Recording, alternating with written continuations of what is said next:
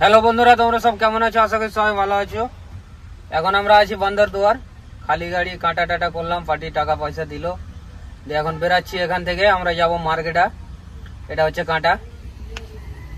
বান্দর দুয়ারে এটাই কাঁটা আছে, আর কাঁটা নেই। এখানেই লাগাতে হবে সবকে গাড়ি। লোকেশনটা দিয়ে দেবো। এটা হচ্ছে সামনে আছে, অরুণাচল গেট এগুলো সব পাহাড়ের মাটি এটা- এটা হচ্ছে অরুণাচলের গেট এই যে সামনে এটা অরুণাচলের গেট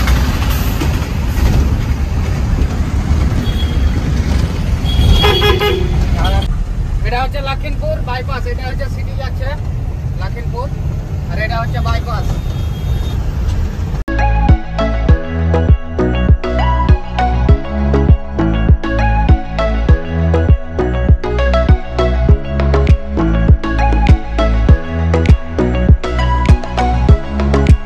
তো এটা হচ্ছে ছ কিলোমিটারের ব্রিজ এখান থেকে দিবড়িগড় হচ্ছে পনেরো কিলোমিটার, আর মার্কেটা এখান থেকে হচ্ছে একশো পনেরো কিলোমিটার তো আমরা মার্কেটাতে পৌঁছে গেছি রাত দুটার দিকে সকালে মুরগা নিয়ে আসলো নিয়ে এসে এখন কাটবো মুরগাকে